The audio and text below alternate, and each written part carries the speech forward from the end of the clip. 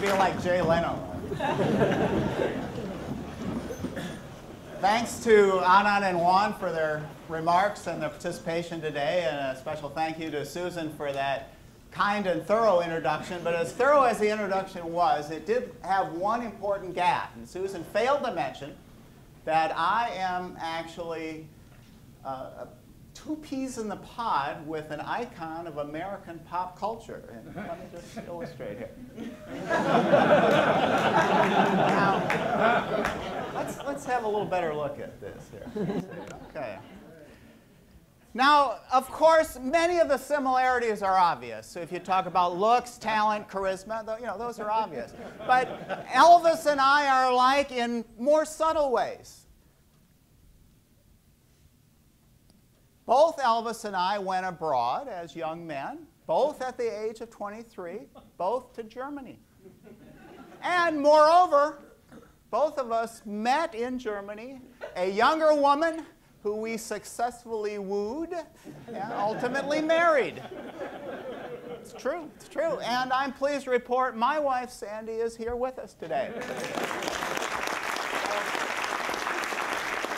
Though, she may be having second thoughts at, at the moment. Uh, now, the topic today is competition, good, bad, and ugly. And our theme is that competition can be all three, and oftentimes a particular bit of competitive behavior will spark disagreement as to which one it is. So let's start right out with an example from my own experience coaching youth softball. These were seven and eight year olds, my son and his comrades. And as coach, I had a rule because I had two kids and only two kids on the team who could catch the ball reliably. I put one at first base and I put another at second base. And then I had a rule you could only throw to first or second base.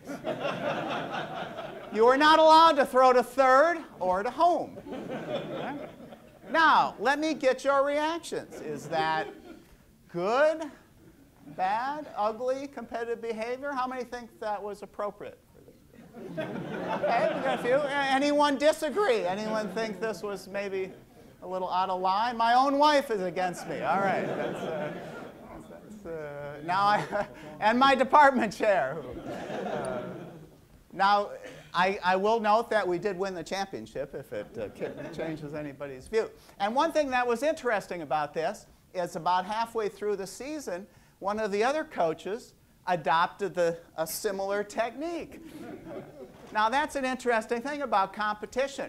In a, in a fiercely competitive environment, whatever one manager or firm does, uh, whether it's uh, to, to cut costs, to maximize efficiency or revenues. Uh, others will have strong pressures to copy.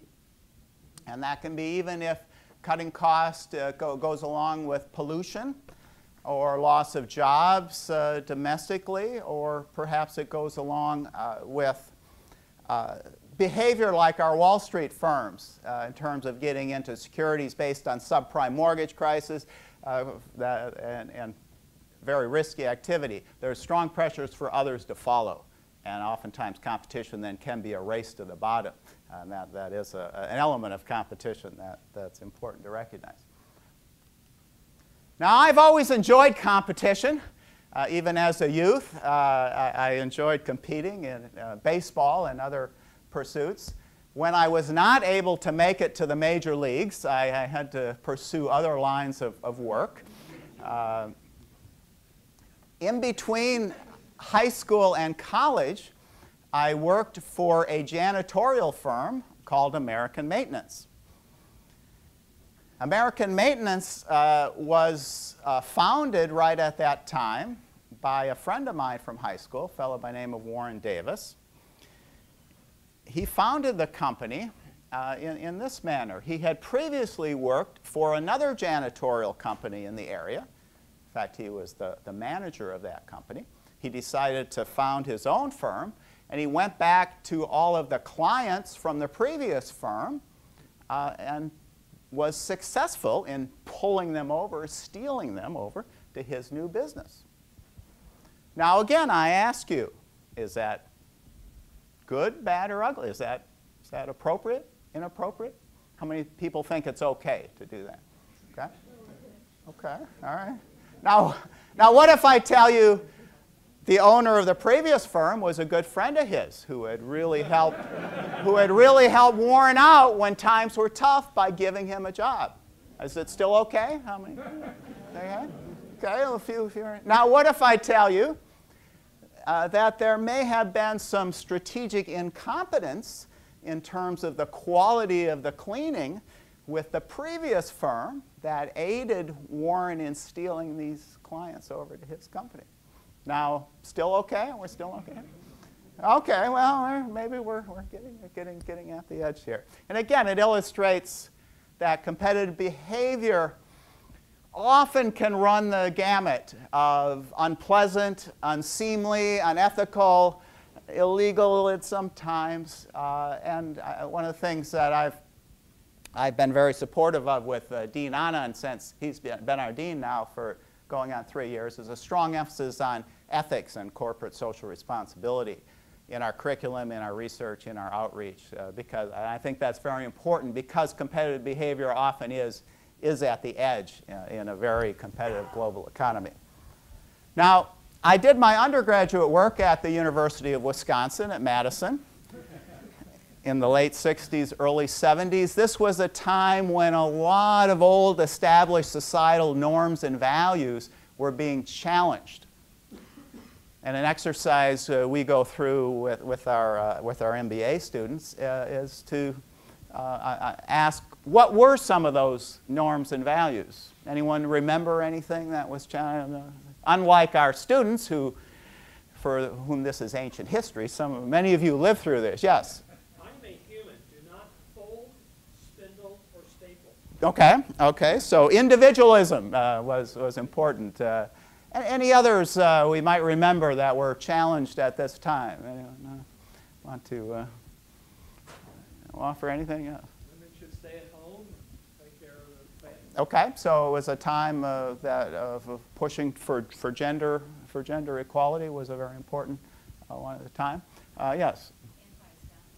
Okay, okay. So it was anti-establishment in, in a lot of different respects.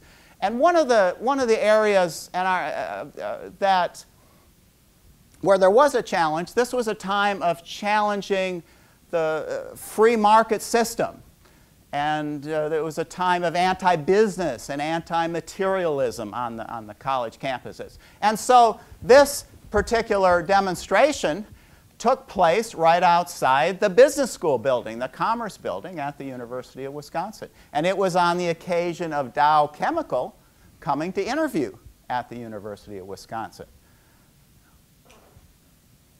Being a business major at that time was very unpopular. There weren't, weren't many business majors. Now, I note that in a courageous act, my older brother Bruce was a business major at the University of Wisconsin. And I'm, I'm pleased to say that not only did he survive, but he's here visiting with us today from, from Minneapolis. Now, I was not as courageous, and I was uh, not a business major myself, uh, as uh, I was kind of one of those anti establishment uh, people that, at, at, the time. Uh, I studied economics. I uh, worked a senior honors thesis on worker alienation and other, other problems of, of, of, that sort at, at, the, at the university. Now, another uh, area of discussion that uh, always prompts an interesting discussion with our students is to what extent did these changes, or to what extent did these challenges to the existing norms at that time result in permanent changes? And to what extent uh, did we sort of go back to how we were before? Well, it, it's always an interesting discussion. And I think most of the areas that were challenged, like the area of of, of gender equality and so on, did, did result in permanent changes.